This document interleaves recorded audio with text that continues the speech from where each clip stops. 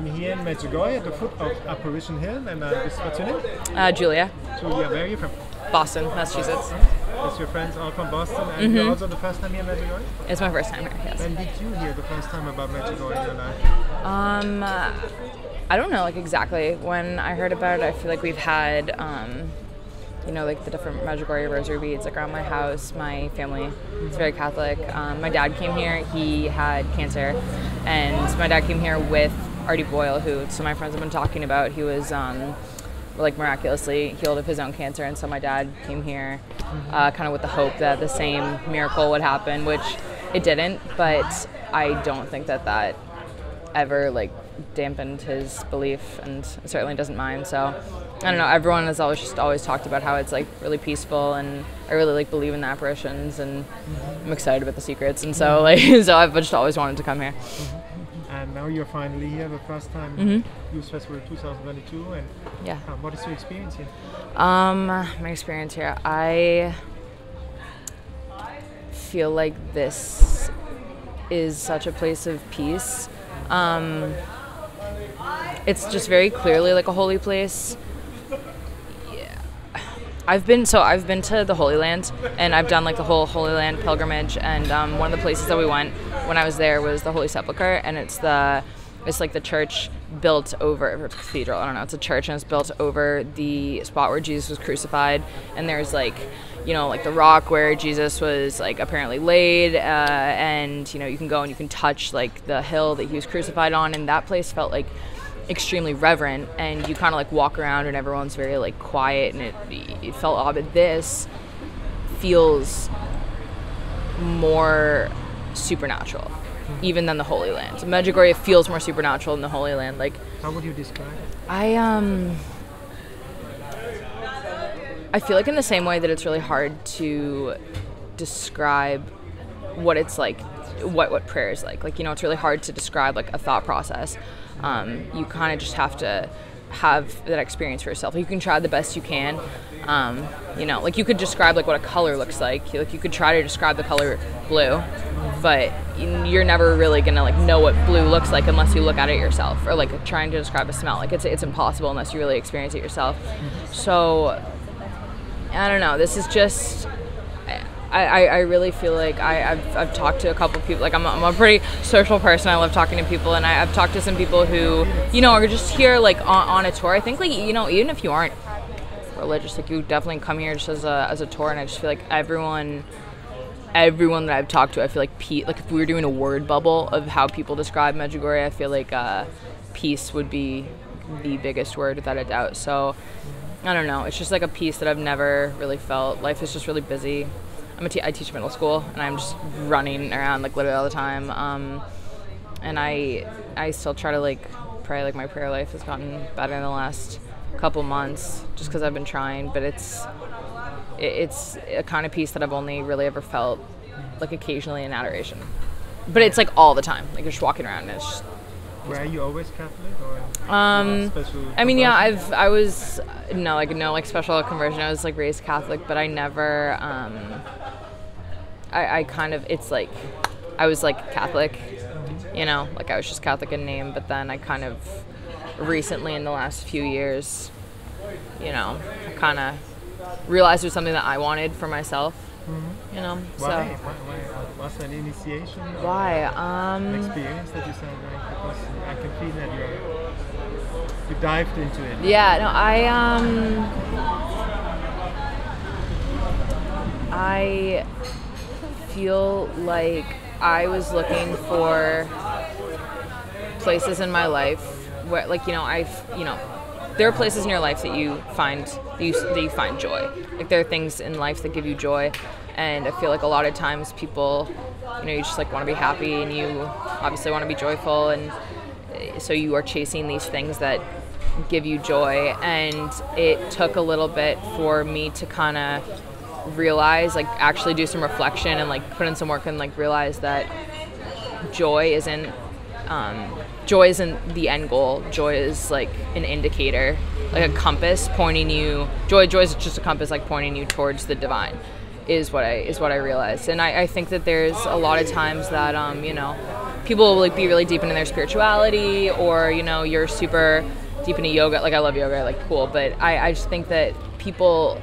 It, it really makes me sad because I see a lot of people. I don't think people realize that what they want is God like a lot of my friends like they want something more and they're like you know i want to be a spiritual person or like oh i'm spiritual but not religious and it's like people have a really hard time with the idea of like you know like the church which i get but i think that what people really miss is like they see the church and they see all like the human flaws that have happened in the church and neglect the fact that like church without faith is just like an organization of people. Like the the essence of it is like really just like a faith in god and like a relationship with god. And so and there's no easier way to get closer to god than through mary. And so mary's here and present so i've just always wanted to come here. Mm-hmm. so here i am now. Little and, tangent. Sure and, and why would you say mary is the easiest way? Um i mean i I just feel like not only have I just like heard that, but that also just kind of like makes logical sense to me. You know, like she if she's like the queen of the earth and like has been a, like assigned to us on the cross like as our as our mother, then wouldn't she want like doesn't any mother want the best for her children? Exactly. And if the best for her children is to get closer to is to like you know be in heaven, yeah, yeah, yeah, get closer to Jesus and be in heaven, then I feel like she would make it. She would like make like the yoke of make the make the kind of like the yoke of suffering that you had that you are going to endure just as a Catholic, as a Christian. Like life isn't easy, and if you are searching for like an easy life, like good luck, mm-hmm. you're not gonna find it. And I just I don't know, but I feel like it's it giving me like an entirely new perspective, like on just the sufferings of life, like the fact that you know through Mary, like suffering his purpose, and or through Jesus suffering his purpose, and I feel like Mary, you know, is just constantly around, great intercessor. Of why wouldn't I call on my mother? Like I call on my mother, I'm like, Mom, how do I, you know, do my taxes? I'm like, why wouldn't I call on my heavenly mother to help me with, you know, getting closer? Yeah, everything else. So. Beautiful. Yeah, I've tried to do the Marian consecration a couple times, and I keep like getting a day like six, but I'm gonna do it this time. I'm gonna do it. I know step by step. I just I feel like I. That's the other thing that I, is really special here is that things are like slow. Mm-hmm. In in in the United States, things are very like very fast. Life is very fast. Um, this is things are very slow here, and so it's really kind of made me think about faith. Like I can't just like say like a ton of prayers all at once and then suddenly have this really strong faith. Like kind of looking back over my own journey, it's been years. It's taken me years, and so and I'm grateful that I ever started and didn't. I mean, I I never gave up, but I slacked. But beautiful to see. Here we are. Here are. so.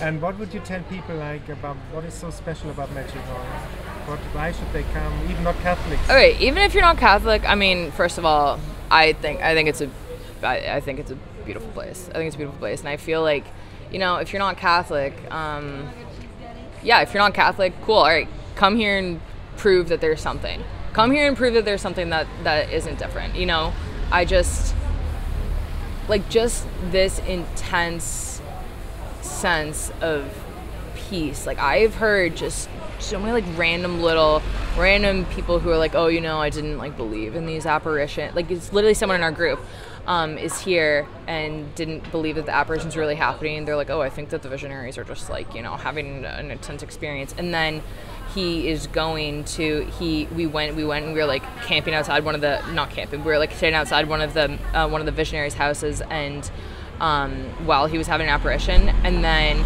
this person who didn't believe in it was like I smell roses like you know like it was like does anyone else smell roses and everyone's like no and so I just think that if you really don't believe in it. But if you really don't believe in it, then either one thing you can like choose to be ignorant, or you can say, no, I'm going to prove to myself that it's actually wrong. Like I like I, I'm right, and I'm going to prove that this is wrong. But you can't prove that you're wrong if you're not even potentially open to it being right. I don't know if that makes sense, but it's like come here. You have like you can't just go into an argument and assume that your position is correct. You have to be open to any possibility to know that you're correct. And so I feel like if you come here, and this is like literally rambling all over the place right now. I don't know. It's a hard thought to collect, but I feel like it's you could come here and it could be a completely secular place if you if you want if like you are not open at all you just have to be open you have to be open because i think that if you are open you will notice that something is different you know? I think it's impo- it's impossible it's impossible like just not feel some supernatural sense of peace here. I don't know. It's maybe not the most concise answer, but I don't know. I, I really, I just really feel like, you know, if you can afford, if you can afford to come out here, afford the time, yeah, just let it come see for, yeah, come see for yourself. Come here, and then tell me that there's not something different. and even pray about it if you can't afford it. I saw so many people they got a present somehow and they got here. You know, it's not about the money. Yeah, If they it's not. really want to come here, they will be coming here. Right. It's just like if you really think that there's nothing, yeah, no, just come here, but then say, God, you know, if you do exist, mm-hmm. why not show yourself to me? You'll something you you will you will know. I think it would be hard to come here with an openness to the truth, whatever the truth may be, and then not kind of realize. Beautiful. I don't know. So yeah. Thank you for this beautiful interview. Thank you. Thank you.